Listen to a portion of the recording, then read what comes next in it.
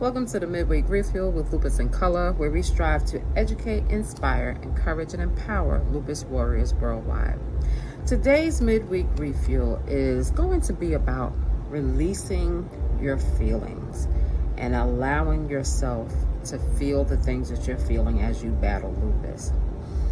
It's so important for us to be able to release those feelings, number one, but also to feel them.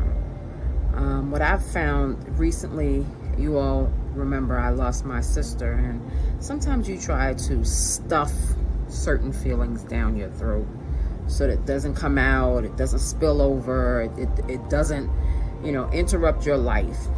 And what I've found is that I have got to release feelings. I've got to release pain.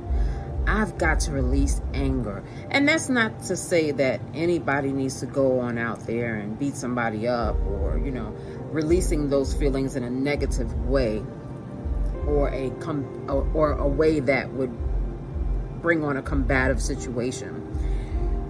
It is to say that you have to feel the feelings that you're feeling.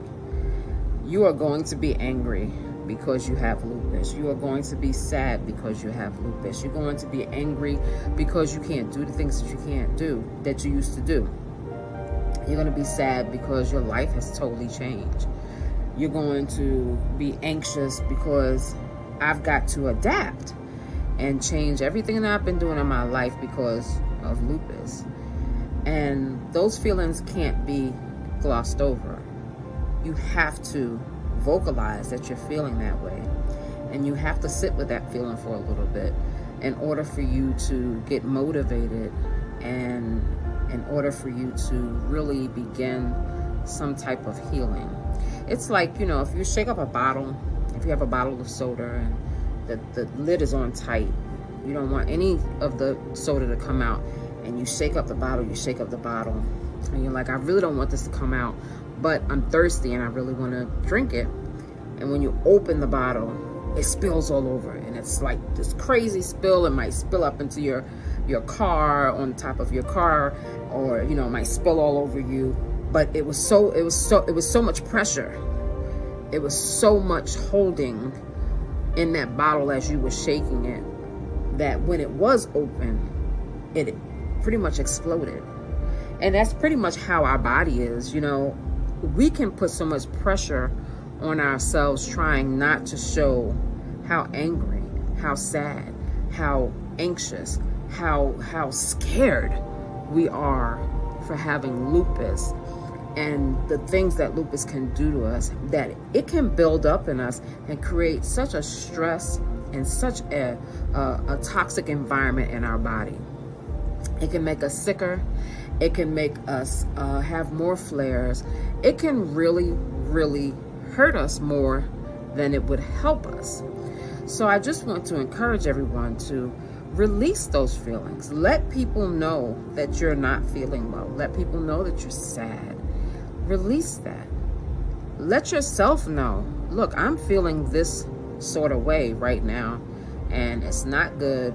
I don't like it but I've got to go through it in order for me to get to a place where I can adapt and change from it.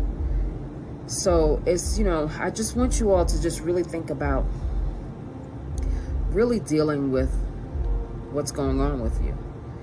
Um, deal with what's going on with the symptoms.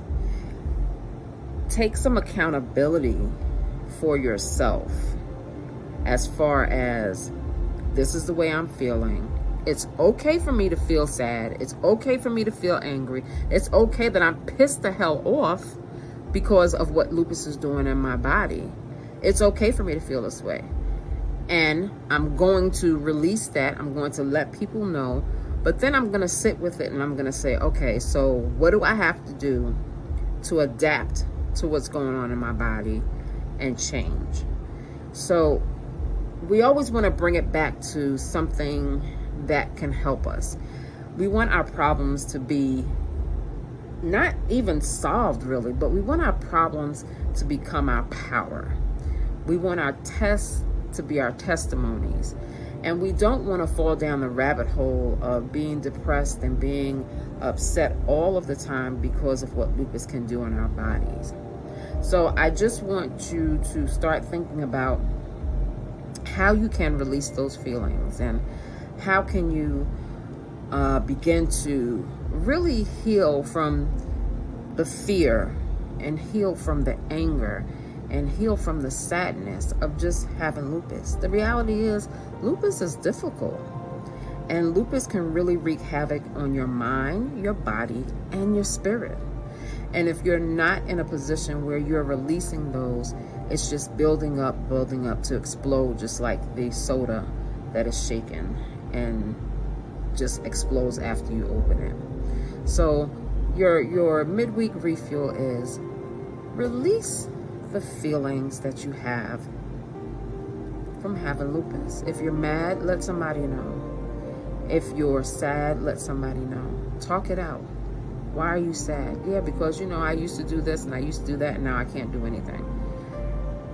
And sometimes you have to find that lupus warrior that will just sit there with you and be like, I, I understand. Sometimes you have to find that person, that friend that will sit with you and just be quiet. Because sometimes that silence is golden and it really gives the support that nobody would ever even understand. So release those feelings release those feelings and get some relief from dealing with all of the stress of bottling that all in and holding it in because you don't want people to think that you're not strong or you don't want people to see you that way or you don't want to be judged. It is what it is. Lupus is a difficult disease. Release those feelings so you can get some healing. That is your lupus in color midweek refuel. Tonight we will be speaking with Dr. Ashira Blazer and one of her mentees tonight about medical gaslighting and disparities in lupus care. Please, please join us on Instagram Live and I will try and stream to Facebook as well. Join us so that we can have this important discussion about disparities in care and medical gaslighting. We've all been through it in some shape, form, or fashion. Grab a friend, meet us on over in, in Instagram world, and let's take a listen to what Dr. Ashira Blazer has to say. Thank you always for tuning in. I hope that you have been um, enjoying all of the information provided for Lupus Awareness Month. And I hope that you've been sharing it with your family and friends, and especially those people that you feel misunderstand lupus. Maybe they can get a greater understanding of what you're going through. So I look forward to seeing you guys tonight at 7 p.m. on Instagram. And I hope that you all have a great day. All right now.